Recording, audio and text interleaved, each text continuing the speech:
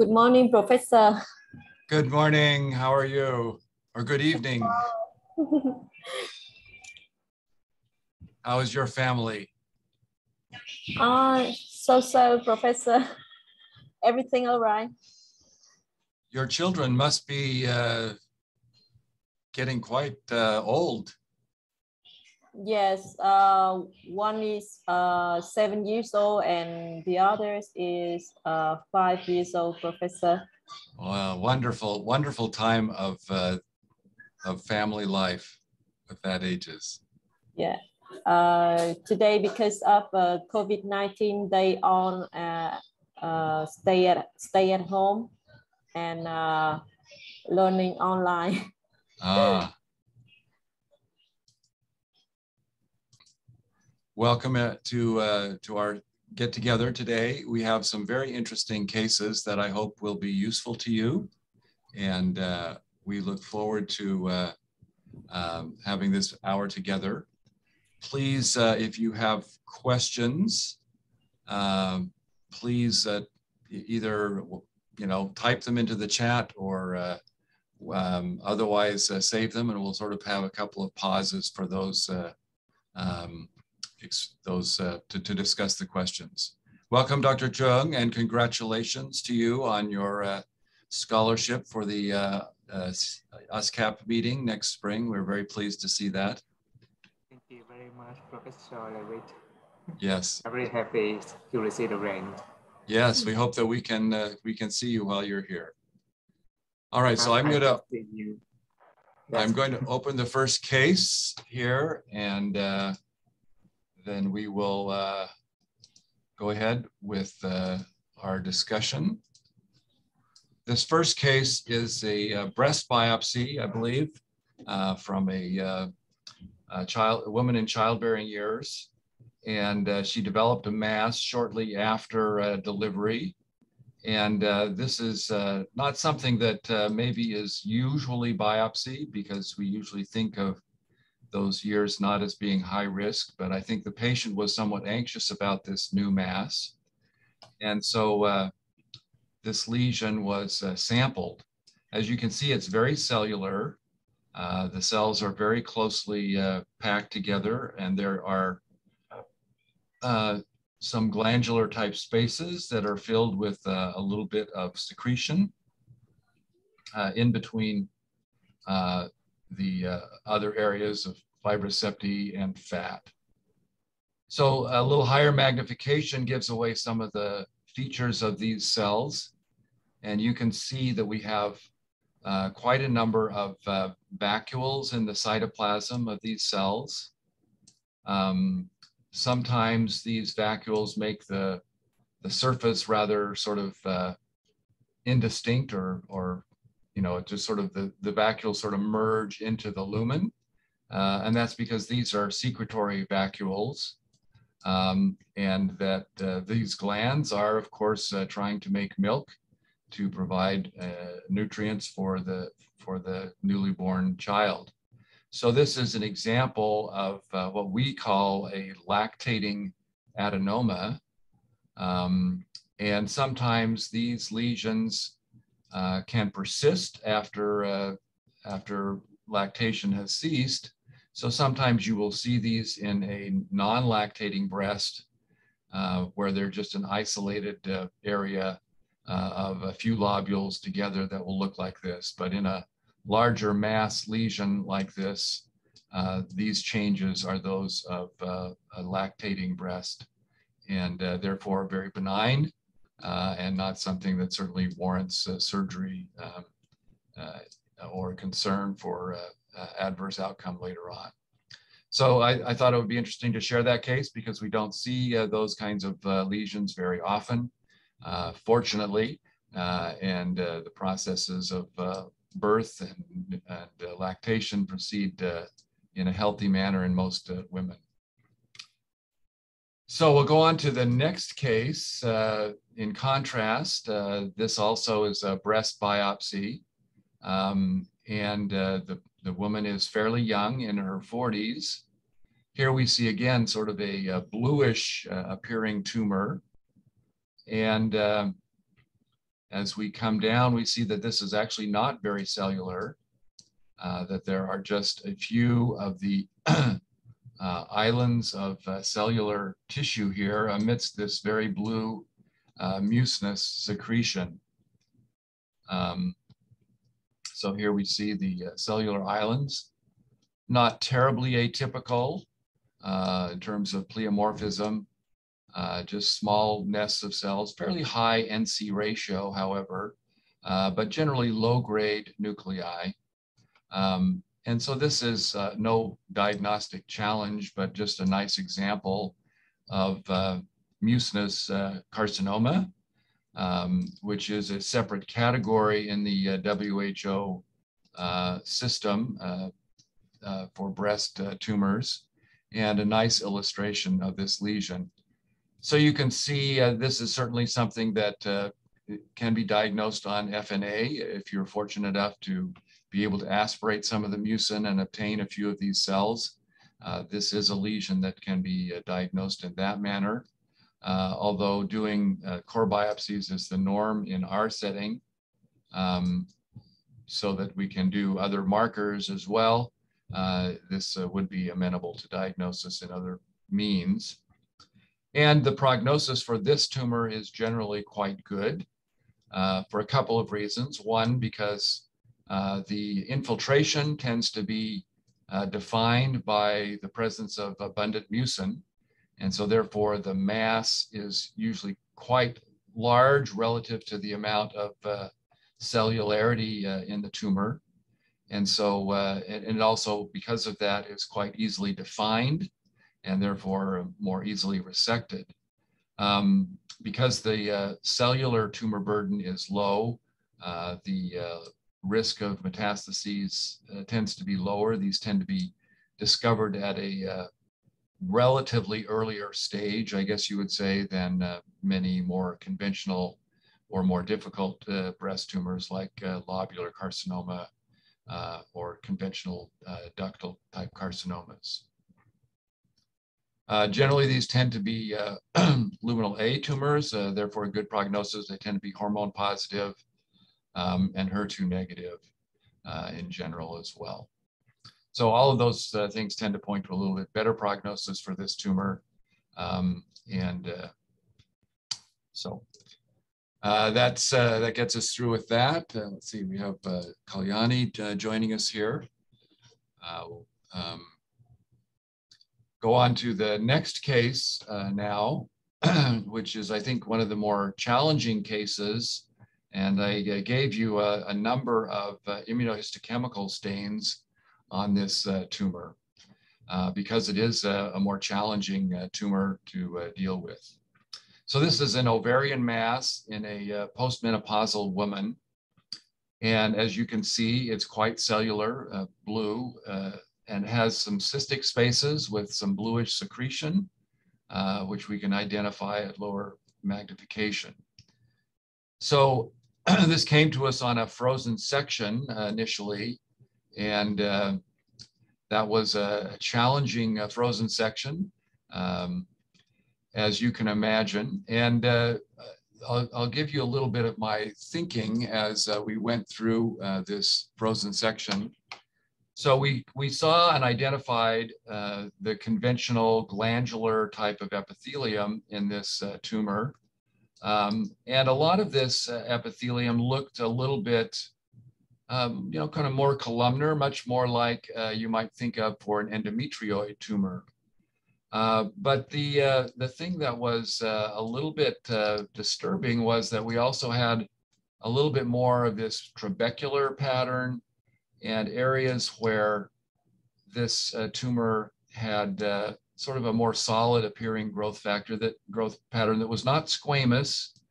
Um, and so we, you know, we wondered about uh, the possibility of sex cord stromal tumors. Uh, there's, there can be uh, endometrioid variants uh, of those tumors that can be difficult to determine. Um, and and also, you know, as you look at this, you you can see that uh, uh, although it's uh, certainly and clearly malignant tumor, Um, it's not an ultra high grade, so it's certainly not in the category of a high grade serous or a, uh, a poorly differentiated or highly aggressive uh, uh, Sertoli tumor or something in that sort of a, a, category. So this was our challenge as we were looking at this on frozen was kind of trying to figure out uh, where does this, uh, where is this tumor going to sugar out? And I will do one other thing. I meant to enable uh, um, transcript. So I will enable transcription for those who might want to see what I'm saying as well as hear what I'm saying. So then uh, with that sort of a differential, uh, sex cord stromal tumor, endometrioid tumor, um, other kinds of uh, epithelial neoplasms, uh, we began to do our uh, immunohistochemical workup. Um, and here you see more of this mixed glandular and stromal pattern um, where the stromal cells are also part of the uh, neoplasm.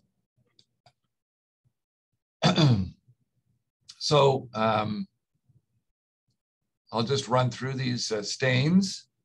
Um, here is, uh, let's see which stain this was.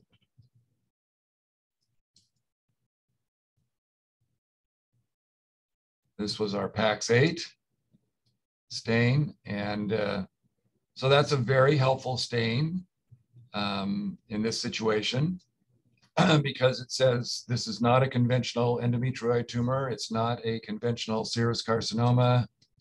Uh, it's not a clear cell tumor. It's none of those common epithelial tumors that we usually associate with uh, uh, ovarian neoplasms. Now, there are some uh, ovarian tumors that will lose PAX8. Uh, I'm thinking of dedifferentiated uh, carcinomas or undifferentiated carcinomas, but this doesn't have the morphology uh, of that. So a negative PAX8 sort of rules out a number of tumors. Um, here's a, another stain, um, and we can see there's a little bit of positivity here. Um, I believe uh, this is a, uh, a pancytokeratin, uh, which shows some positivity, uh, as you can see. So it certainly has some epithelial differentiation, but not as much as we might usually uh, assume. And whether this was CK7 or, or pan-CK, I don't remember exactly.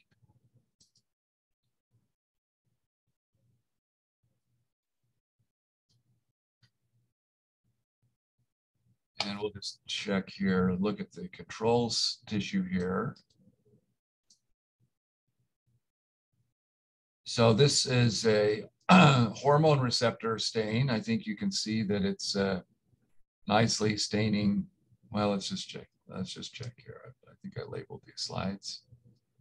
So this is a progesterone receptor control. Okay, I was at least in the in the ballpark there. And as you can see, there's some positivity in this in the tumor. Um, so we've got some progesterone staining in some areas. And uh, we had this one area that was quite strong over here.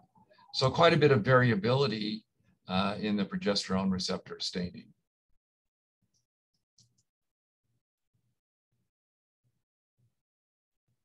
And similarly with estrogen receptor, you can see the same uh, pattern, a little bit stronger here. Uh, oh, wait a second. We've got a control here that looks like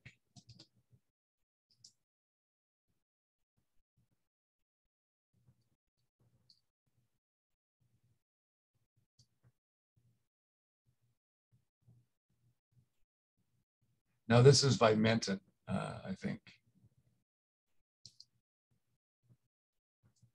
Yeah, Vimentin. So, um, so you see that it's Vimentin positive, and we would think of that as, you know, in some endometrioid tumors can be Vimentin positive, but we've already excluded uh, the Vimentin on the basis, or these endometrioid tumors on the basis of, of the uh, negative PAX8. So um, also we see that most of the staining here is is in the stroma. There is some in the epithelium. And so this underscores the fact that uh, a number of tumors, in addition to endometrioid tumors, can have epithelial uh, cells staining with this uh, intermediate filament of vimentin. So here you see that nice positive staining within uh, the uh, um, epithelial cell groups.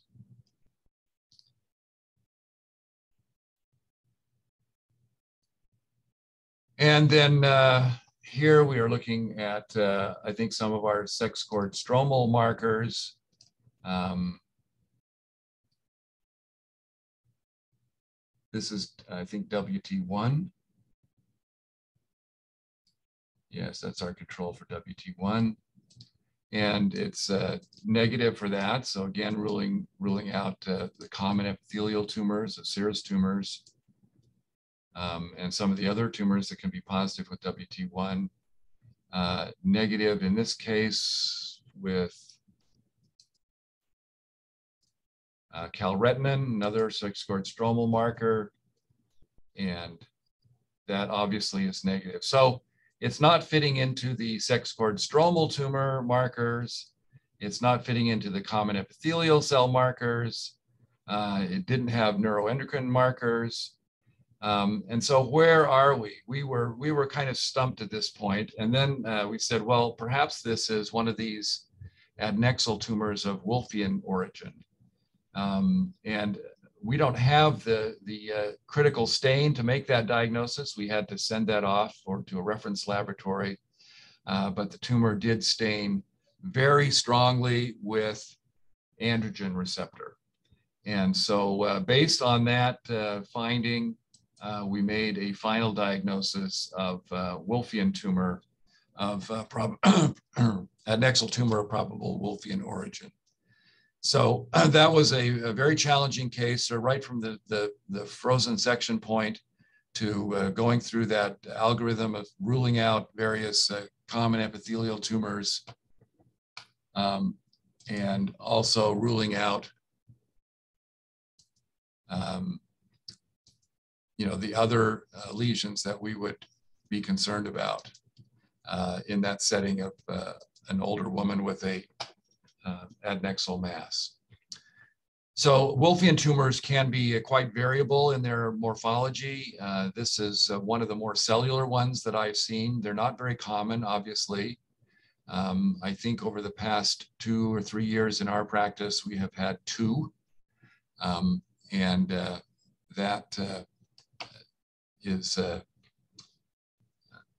a fairly low incidence uh, of, uh, of these tumors. So we'll change gears um, and go on to, well, let's see, I see there's some questions here in the chat. So let's pause for a second. Uh, okay, yes, it certainly is very, uh, very uncommon tumor. And and uh, like you, Dr. Tu, I think I probably saw a few, but uh, misinterpreted them. Um, because if you don't have all of the stains and are thinking through things carefully, you, you can be just left with, uh, I'm not quite sure what this is sort of uh, uh, approach to things. So this next case is a uh, middle-aged woman who had um, some anemia and had the development of some dys dyspepsia and came to endoscopy. And uh, at the time of endoscopy, she was noted to have uh, several little nodules in her stomach. And uh, these were resected using endoscopic mucosal resection. So you can see here we have a, a cauterized margin and we have a nodule here. And the interesting thing about this nodule is it also has these uh, glandular uh, tissues associated with it. Um, and that uh, is quite interesting and a little bit of an odd variation on the architecture to have this sort of uh, glandular epithelium here within the tumor.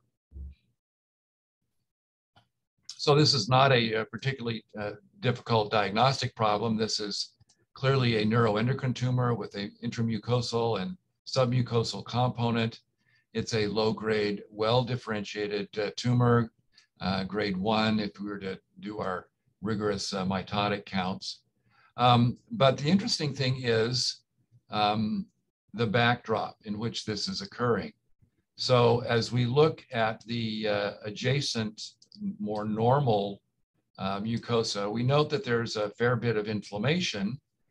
And uh, although this was taken from the body of the uh, stomach, we don't see um, normal body type mucosa.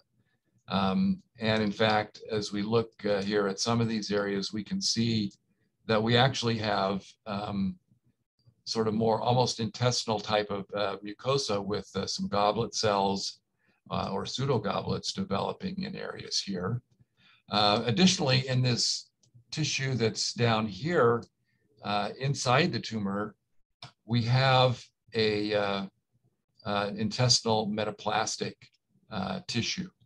We have goblet cells here as well.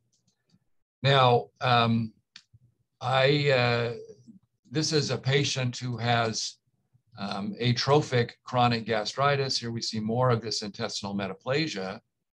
Um, and so she has an autoimmune process uh, with um, the development of secondary anemia due to loss of uh, B12 absorptive capability and intrinsic factor with uh, damage to her uh, um, gastric mucosa. But the thing that I find uh, to be quite interesting here is this feature here. Um, and so, um, because this type of columnar mucosa should not occur uh, deep to the uh, muscularis mucosa, which this obviously is. And so uh, I'm wondering if this is um, actually a part of the neoplasm.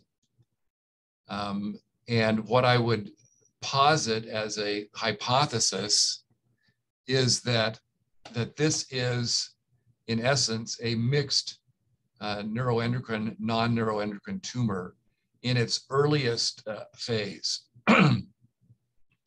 Essentially, we have the neuroendocrine feature being neoplastic, but the non-neuroendocrine uh, piece is just metaplastic or still metaplastic and not yet neoplastic. Um, so I don't know if that's true, but we do know that there are mixed uh, neuroendocrine and non-neuroendocrine tumors. Um, and this is certainly an example of that, certainly in the most benign phase uh, of that sort of disorder, uh, to have this admixture of metaplastic intestinal type epithelium with an admixed um, neuroendocrine tumor. So uh, that's uh, just a, a, little bit of an interesting uh, sidelight to the process. Now, I know in Asia that uh, you, you don't tend to see a lot of uh, atrophic chronic gastritis um, and, uh, and so forth, but so I thought this would be a nice example for you to also see some of the changes that we see with that disorder in generally. Of course, if we were to do a, a synaptophysin or other neuroendocrine marker, in addition to these uh, tumor cells being nicely positive, uh, we could identify in many instances some degree of endocrine cell hyperplasia occurring in the uh, background uh, mucosa as well. Um, and sometimes that may be some of these cells uh, that are really hyperplastic endocrine cells um, along the sides and, and so forth of the uh, normal crypts. Okay, well, let's go on to the next slide. Uh, I've given you kind of my uh, wildest thoughts of the day. Uh, this is a more mundane specimen, an endometrial curettage. And uh, of course, we see there's lots of blood in this sample. And usually this is a sample that was taken for dysfunctional or abnormal uterine bleeding. Um, and uh, the woman was not in a high risk category. She was not obese or um, had not been taking uh, uh, hormone supplements or anything of that sort.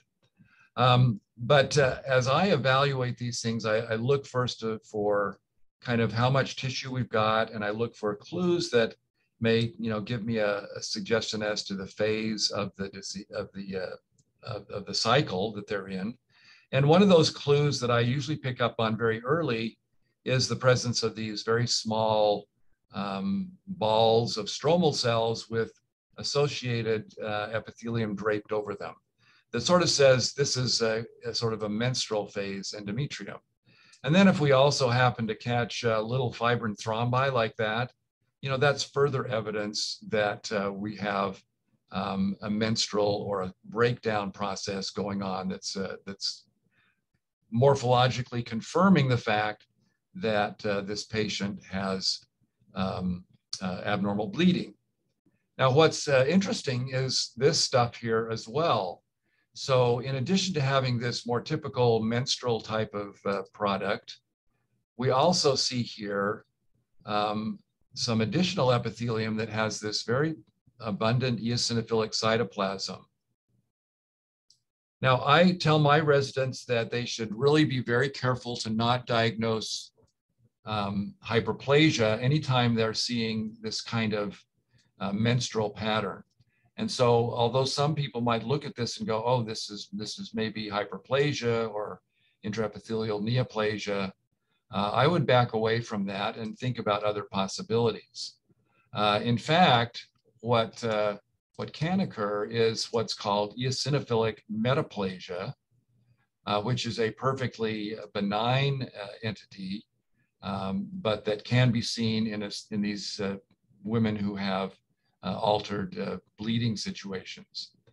Um, you might be tempted to think about an eosinophilic variant of clear cell carcinoma, uh, given the very sort of apical nuclei in a few of these sections like here. Um, but in that situation, I think uh, you want to make sure that you're going to see high grade um, epithelial, or excuse me, nuclear atypia. Here's another area where you might think about clear cell carcinoma. But notice here that these cells, the nuclei, are all very low grade. They're very small nuclei, and they're not uh, forming any degree of uh, significant atypia. So this is sort of a combined uh, clear cell and eosinophilic metaplasia. Now, a fragment like this, I think, could raise consideration for um, hyperplasia. Um, and so that does become a consideration in this situation, uh, even though we have these other more typical menstrual changes as well. Uh, so I would probably describe this and suggest follow-up uh, in this circumstance. Uh, but I think the, the major changes are the menstrual pattern, the eosinophilic metaplasia, um, and this little clear cell change area, uh, which might represent uh, uh, uh, hyperplasia um, and warrants some follow-up, perhaps a repeat curettage at a later date.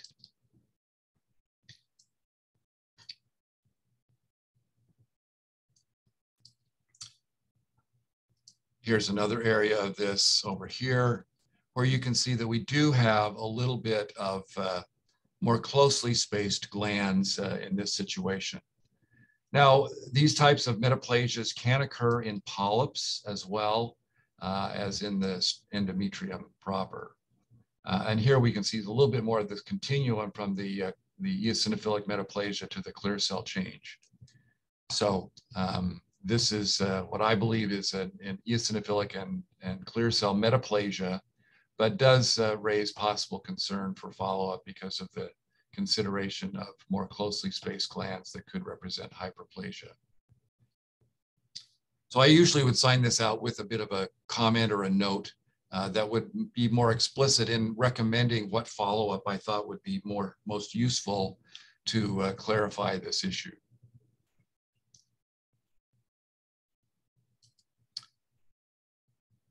Okay, so uh, going on to uh, another uh, GI case. Uh, this is a patient who had a, uh, an esophageal resection for another purpose. And uh, this illustrated one of the common features that we sometimes see in the GI tract, which is the presence of ectopic um, tissue that doesn't belong where it, where it is. So this is uh, from the upper esophagus, and here we see um, little clusters of glandular mucosa here. Um, which you might say, well, this could be, you know, intestinal metaplasia, and sure enough, it is. Uh, we see this in the uh, uh, deeper tissues. So this could be a situation where this patient had been um, had an attempted ablation of Barrett's esophagus, and essentially we buried um, the Barrett's epithelium because we didn't burn quite deep enough with that ablation procedure. And so the surface epithelium reconstituted over uh, this metaplastic epithelium.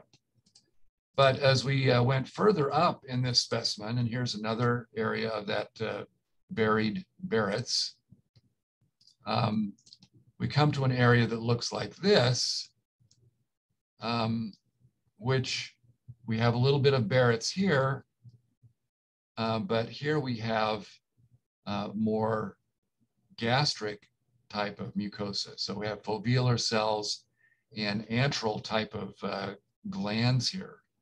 Uh, so usually in an inlet patch, uh, and this is towards the upper end of the esophagus, usually in an inlet patch, you're going to have um, gastric body type of mucosa. So acid secreting uh, mucosa rather than antral type mucosa. So uh, I think uh, that is a very interesting finding in this situation that here high in the esophagus, we have uh, a more um, antral type of mucosa in addition to some Barrett's intestinal metaplasia.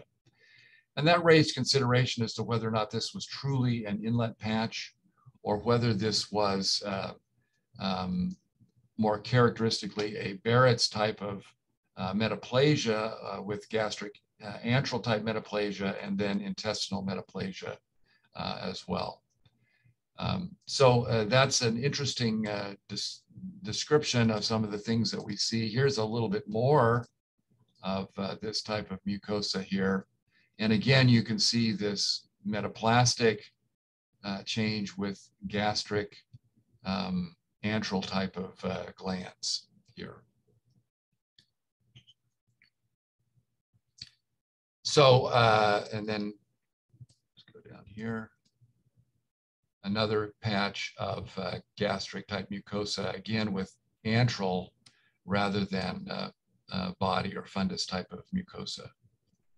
So I don't know if there may have been something unique in this patient's uh, uh, biological uh, backdrop that created a more gastric antral type of metaplasia situation. All right, any questions to this point? Let's see, I seem, see uh, Kalyani has correctly gauged that I'm, I'm predicting that it was sort of a mixed uh, uh endocrine, neuroendocrine, or uh, non-neuroendocrine tumor on that uh, stomach. So that would be correct. That was my assumption.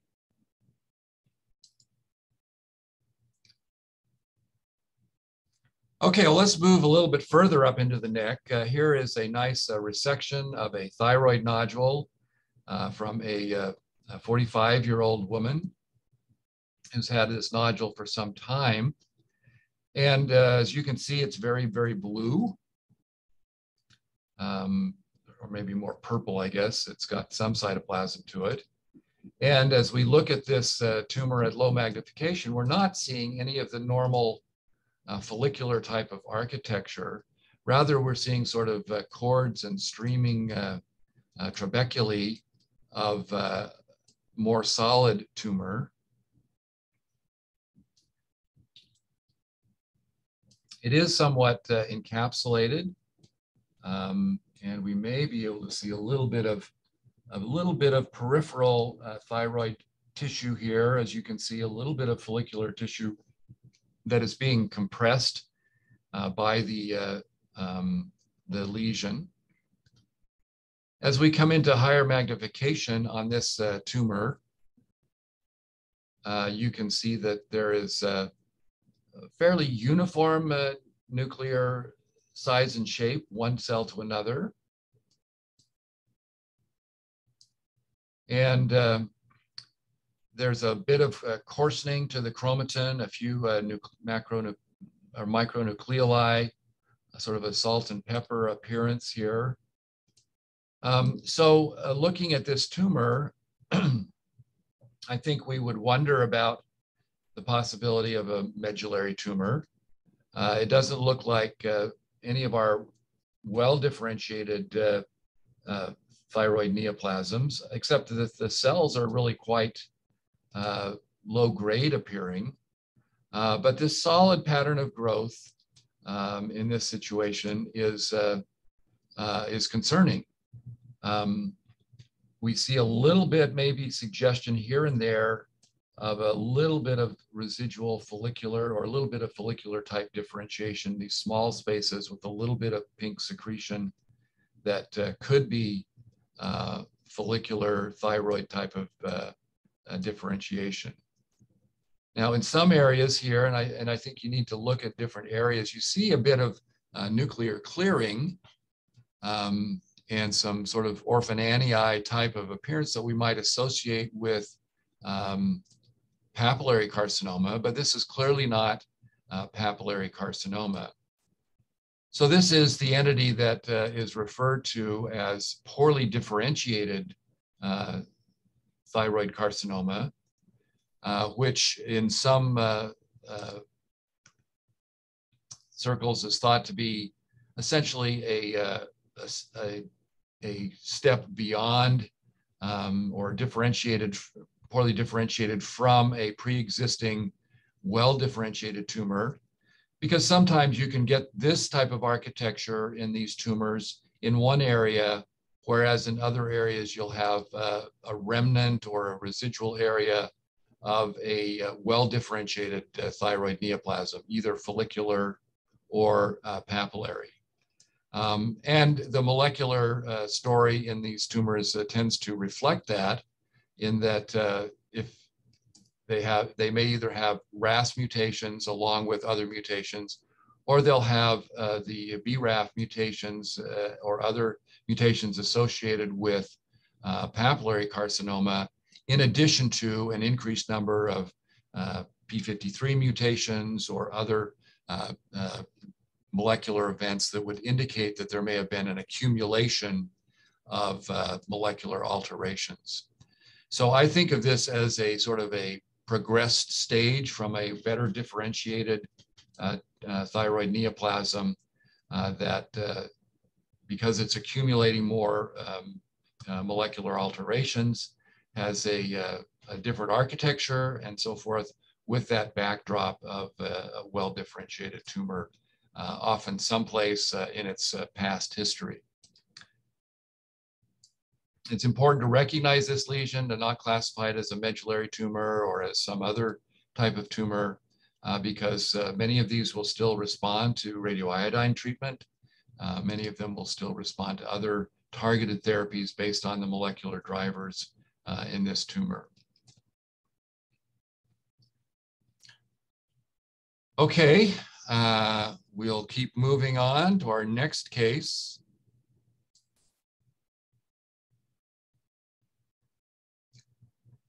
staying in the thyroid here. Um, as you can see, we have uh, thyroid parenchyma here. And uh, here's our uh, two lesions. One is a nicely uh, easily identifiable macro uh, follicular nodule, not much of a capsule. Um, and then our other lesion here is this more solid tumor, which as we come into, we see here does have a capsule. And clearly uh, we can see here that it has extension beyond the capsule.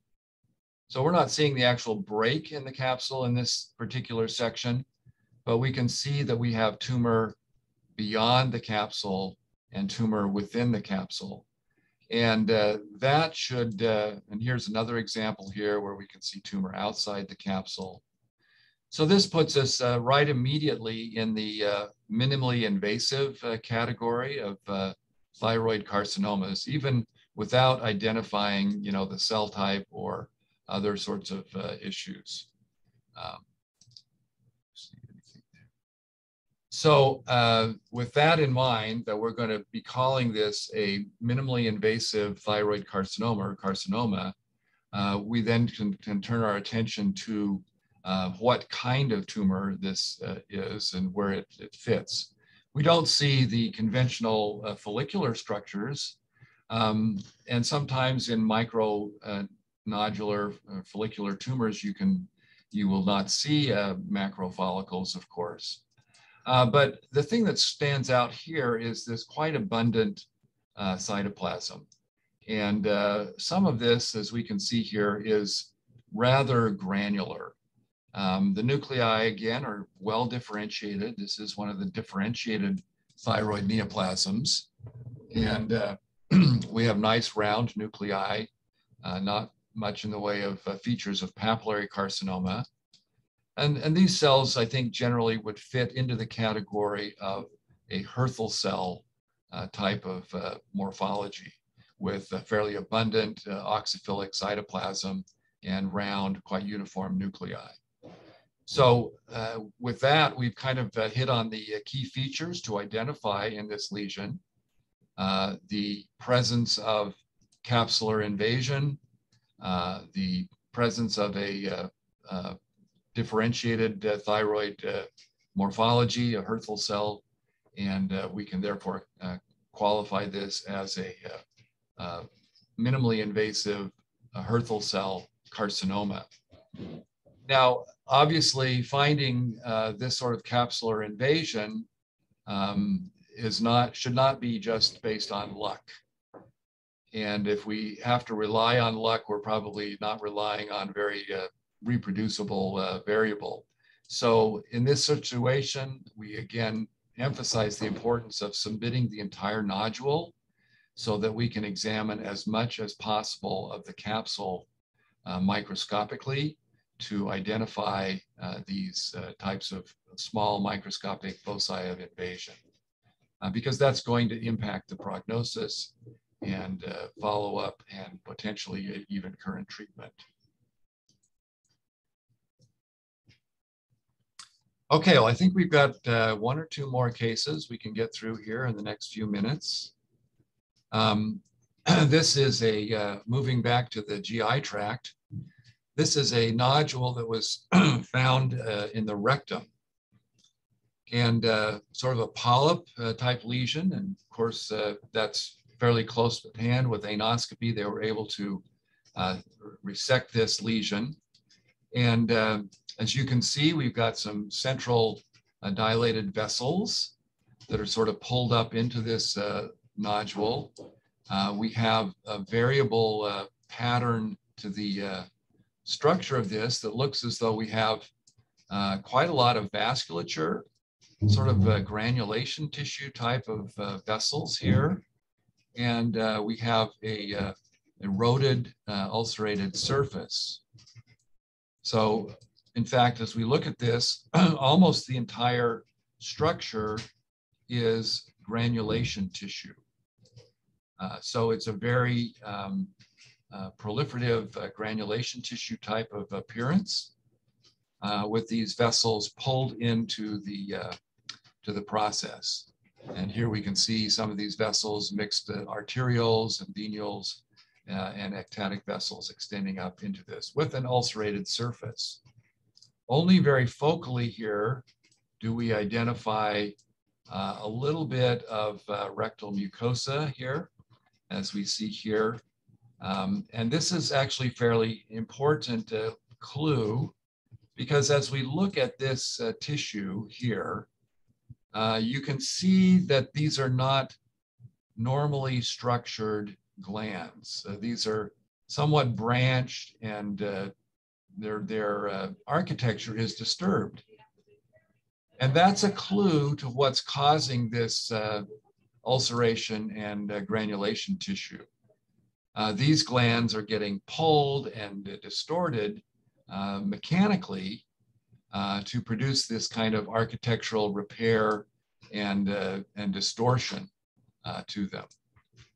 So this pattern, this appearance of polypoid granulation tissue with associated uh, glandular distortion is uh, quite characteristic of the solitary rectal ulcer syndrome.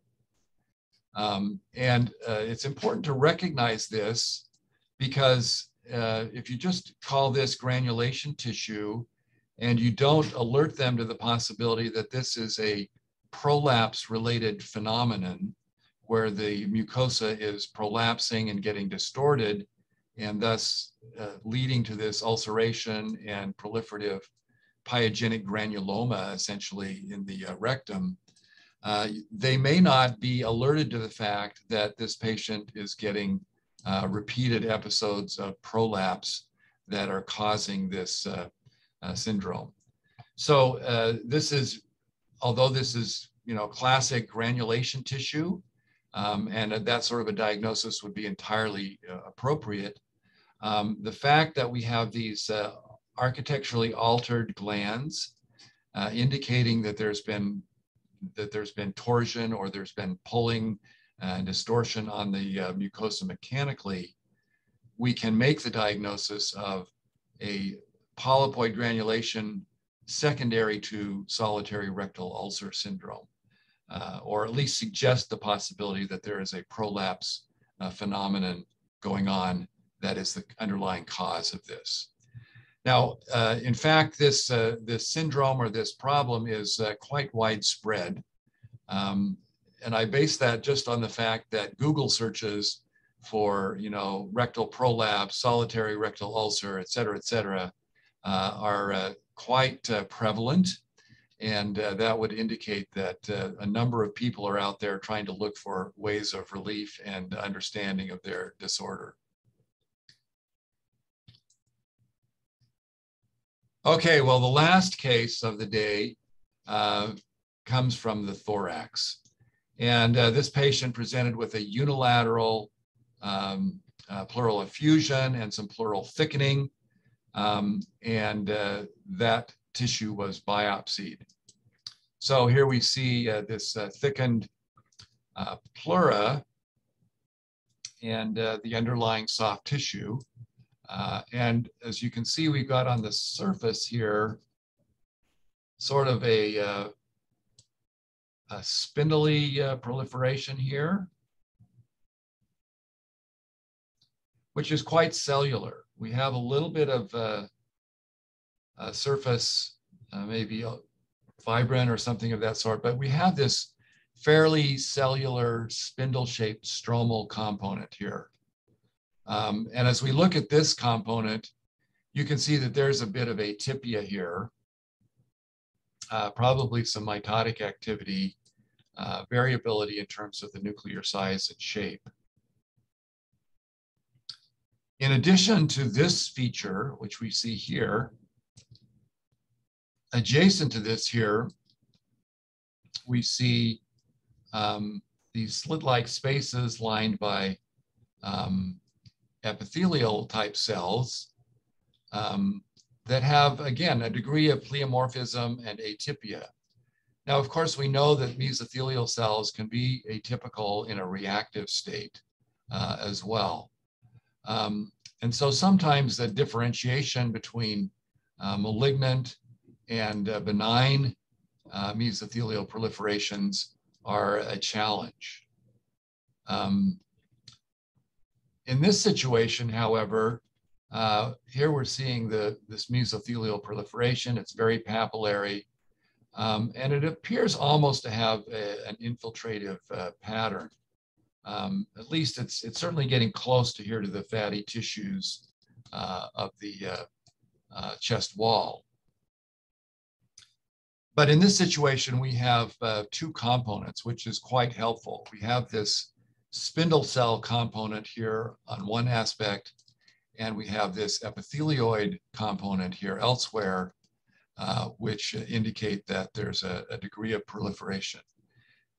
Now, I have seen a number of very florid mesothelial hyperplasias in my life, but I don't think that this degree uh, is, this is usually beyond what you usually would get with a benign papillary mesothelial proliferation. Additionally, you'll notice how it's, it's making these sort of onion skinned uh, nodules, uh, which I think uh, is quite nice uh, indication that the stromal uh, element is a piece of this as well. Now, one thing to think about with regard to benign mesothelial proliferations uh, is that there also tends to be kind of a granulation tissue pattern with those in which you'll get kind of perpendicular appearing vessels to the surface. And we're not seeing that here, um, in addition to seeing this uh, spindle shaped uh, component to the tumor as well. So this is a really nice example of a biphasic uh, mesothelioma with a combined epithelial and spindle cell proliferation uh, in this patient uh, that would account for uh, mesothelioma. mesotheliomas still occur. Um, there are still situations and circumstances where exposure to um, asbestos has occurred, um, either in childhood or other settings um, that can be uh, set up and a pre predisposing risk factor for the patients to develop uh, this, uh, this case. Well, so I, I see that that was not a mystery to any of you. You did really well. We'll, we've got uh, a minute or two for questions if uh, anyone wants to uh, bring forward a question on any of the cases. You can type those in or unmute yourself and, uh, and uh, raise your question.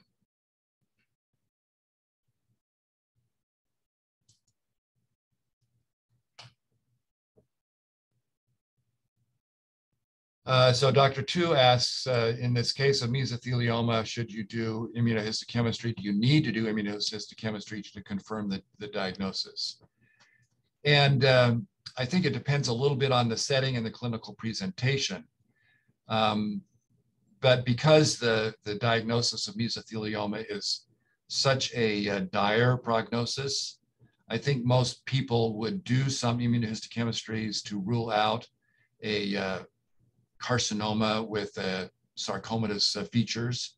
Um, so uh, doing some mesothelial marker, uh, ruling out uh, the more typical uh, epithelial tumors that can occur in the chest and, and the lung would be doing the patient a favor because obviously there are more targeted therapies for some of the, you know, defined adenocarcinomas or squamous carcinomas of the, of the thorax.